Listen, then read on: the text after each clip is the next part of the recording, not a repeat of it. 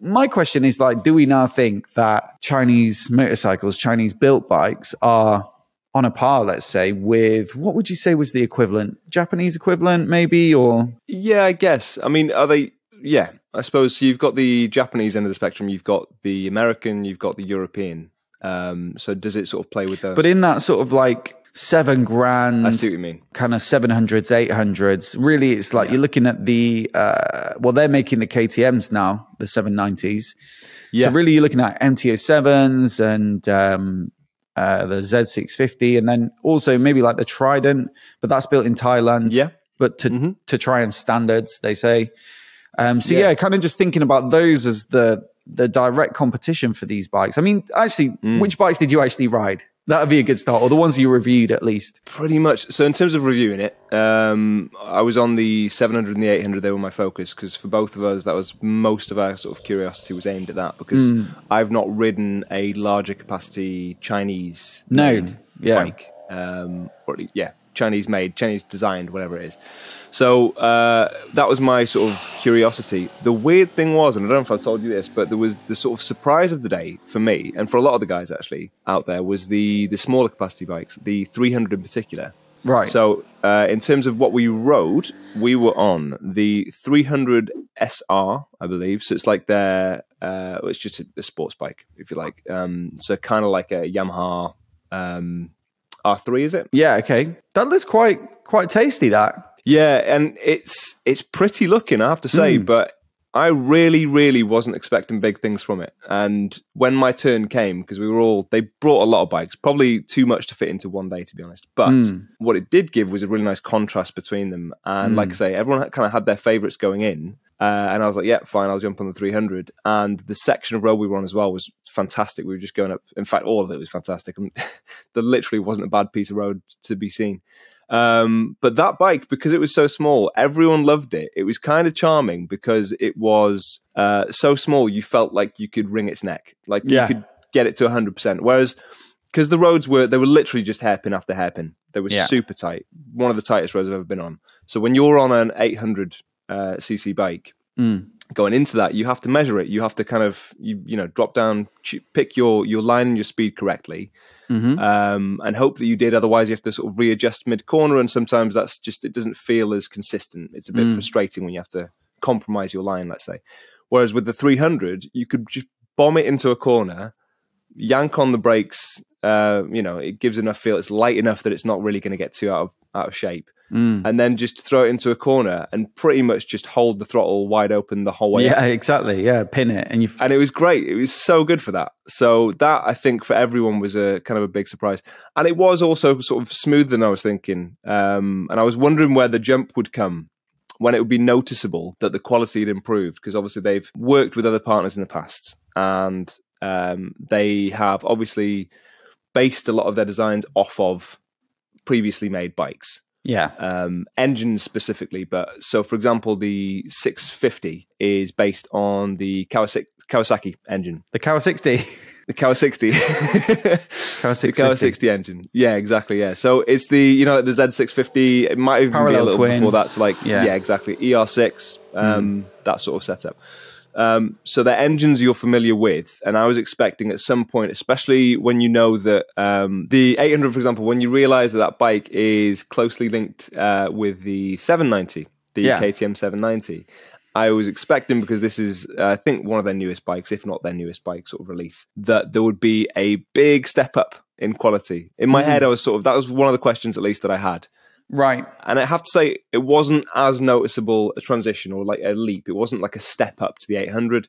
It was just that, as you'll find, you know, with any other brand, if you go from their naked street bike to their big flagship touring bike or whatever, there is a difference. And you can tell, you know, when you jump on, say, a GS compared to an F900, there's going to be a step up, isn't it? Few there? more bits and pieces, yeah. Exactly, yeah. And it's just everything gets a bit more ironed out. It's a bit more cushy and plush. But do you say that as like, as in the smaller capacity bikes were impressive, or the larger capacity bikes? Yes, Okay. No, oh yeah, it's that way round. So rather than it being like it means that the 800s were less impressive than I was expecting, it's more that the smaller capacities were more impressive than I was expecting. Right.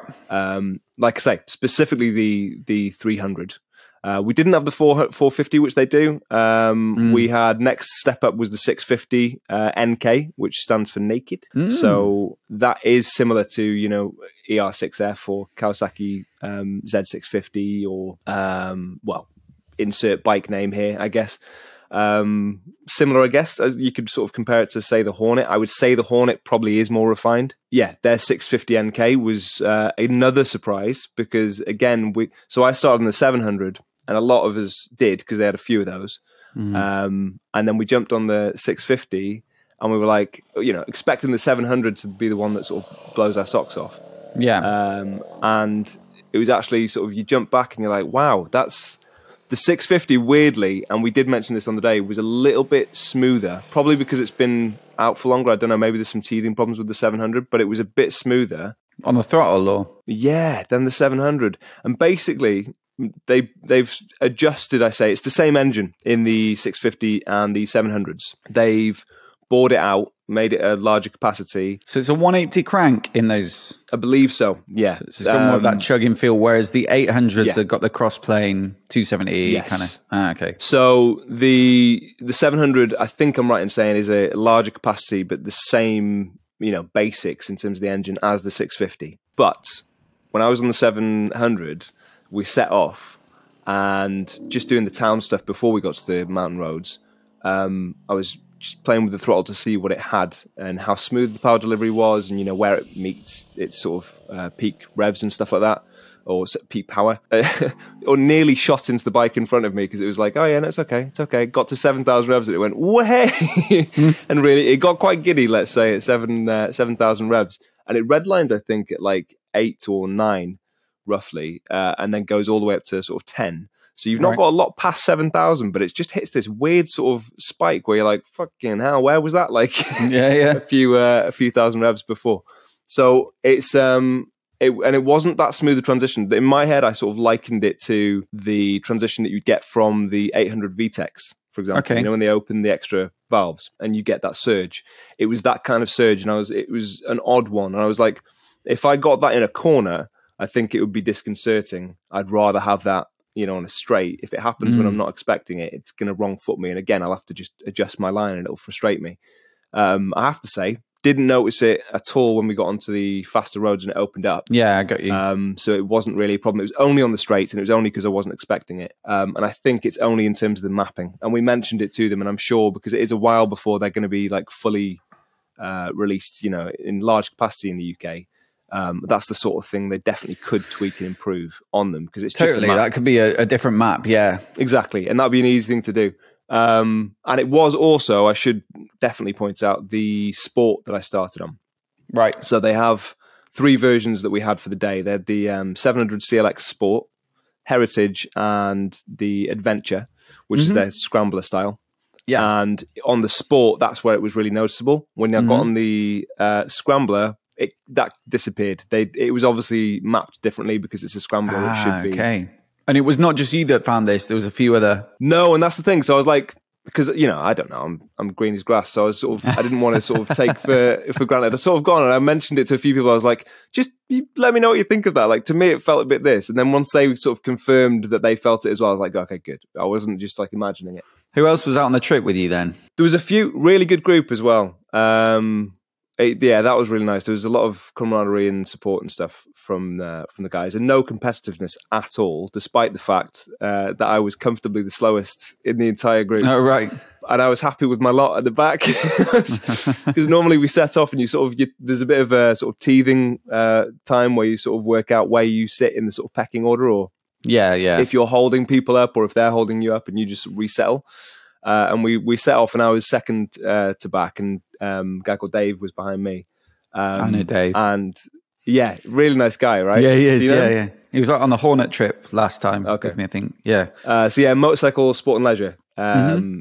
Dave, yeah, and he was uh, yeah, fucking good rider as well. So he was behind me, and then obviously at a certain point, I was like, "No, I'm holding him up." So I waved him on, and he was he was fine from that point uh, onwards, and I I didn't really see his tail again for a few corners. So he was at least sort of two corners ahead of me. So yeah, but the group was like I say, there was zero competitiveness to it at all. It was all kind of like you know you could openly sort of go, oh, you know that corner, you were really quick around that one. What's the sort of what am I missing? What's my technique?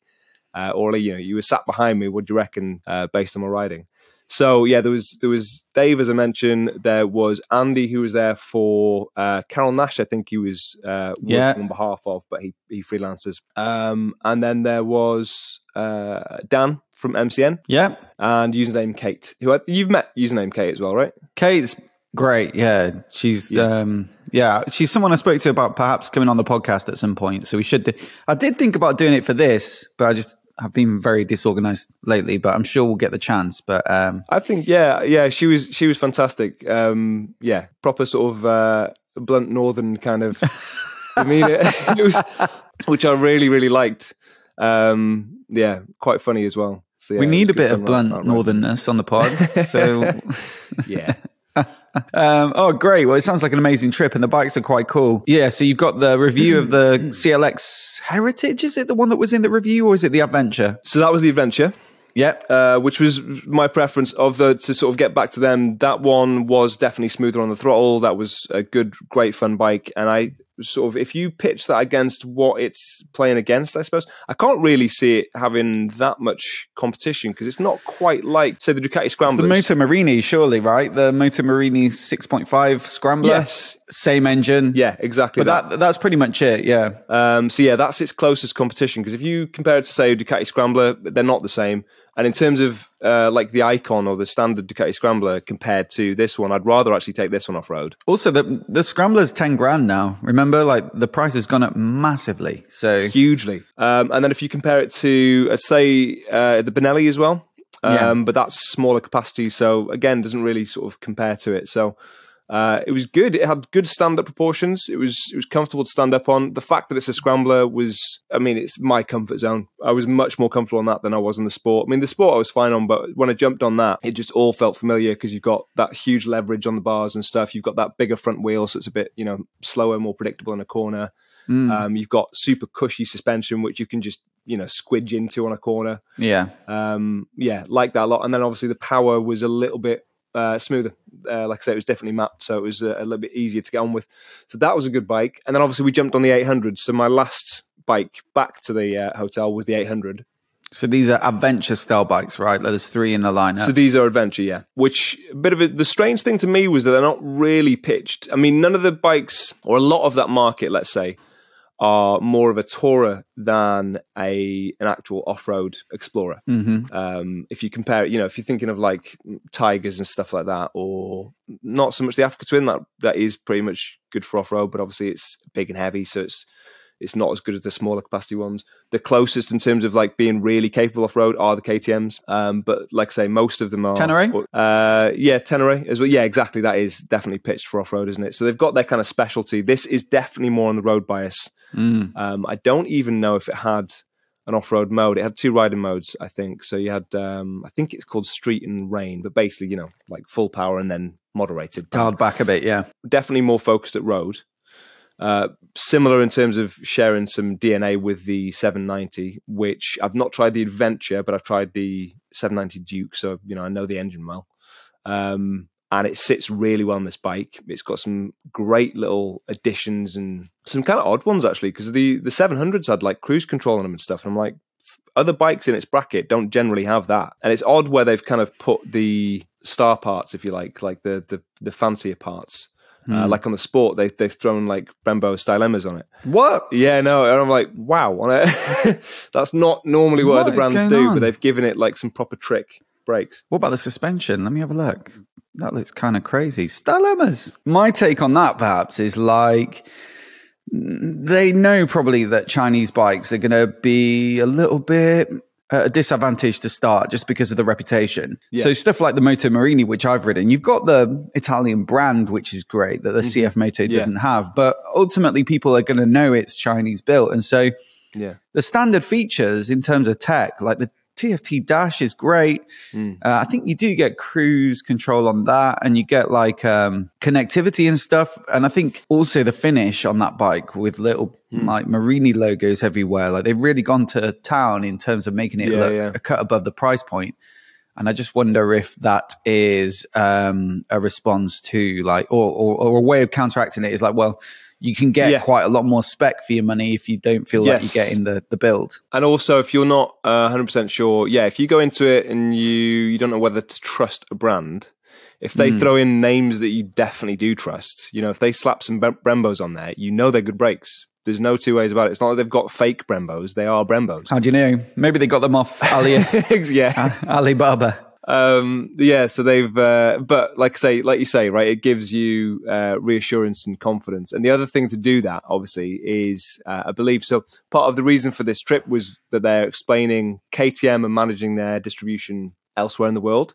Yeah. So they've had a partnership for about 10 years and they have been distributing KTM's. Uh, so CF Moto have been helping KTM distribute in China mm. and vice versa. Now KTM is helping them. So they're setting up a, you know, dealer um, connections and stuff like that and uh, system for it. And because of that, you know, you've got a bit more confidence in the brand then, don't you? If you don't know them or if you've never heard of them before, they've got a four year warranty, all that sort of stuff. You're like, yeah, it's starting to look pretty appealing, I have to say. Um, and especially if you look at the 800, and that was the last bike I went on. So we were coming back down the mountain. It was, yeah, it was a really comfortable place to be. And there were some very, very tight hairpin corners going downhill, which normally aren't my strong suit. Those mm. are the mm. sort of corners that I would be, you know, going in quite reserved on. Um, but I had a lot of confidence in that bike, I have to say, and it has lean sensitive ABS and stuff, uh, mm. which again I know from KTM works really well uh, you can put a lot of faith into that system. And I did. Uh, luckily, well, I mean, luckily for me, because it, it, was uh, nothing sort of wrong footed me or unnerved me going into kind of unknown corners. You know, you don't know how tight they are. If they tighten up on you and you've picked your speed wrong, you might have to uh, adjust brakes mid corner. Um, so having that there is a huge reassurance. And yeah, it was it was good fun, and that was it was the best bike of the day, but it wasn't like I say a huge uh, dramatic step up. Yeah, uh, and it didn't shit on the other bikes of the day. Um, yeah, yeah, exactly. Basically, yeah. So it sounds like th- th- that was probably a 20 minute way of answering the question whether Chinese bikes are on a par with their peers now. Sounds like they're getting close. I would say so. Yeah, I would say I was going there wanting to know whether it did uh, or whether they stood up, and yes, I was pleasantly surprised. I think the only thing is like long term owners reviews and stuff like that. Um, yeah. But presumably, this KTM partnership is only going to have a positive effect on on CF Moto. Uh, they said they've got their KTM bods out there, like making sure that the build process is. This is the same approach Triumph took, you know, um, getting their kind of um, processes in place to make sure the quality control's as good. So uh, yeah, but it'll still be interesting to see when people buy them. What are the owners' reviews like? What are the forum posts like? The stuff that you know YouTubers and people like myself uh, can't really answer because it just the economics of it don't really work. You can't put ten thousand miles on a bike, but um, yeah, I, that, that's the only thing I'd be keeping my eye out for. But hopefully, we'll get a few. I've got the um, 790 Duke and 790 Adventure coming next month for for mm. review, so that'll be interesting yeah. as well to see how the, how those feel. Uh, maybe see if you can get a spin on one as well. Well, um, yeah. have to try and hook that good. up. Yeah. While it's still fresh in my mind, it'd be nice to, uh, yeah, to compare the two. Definitely.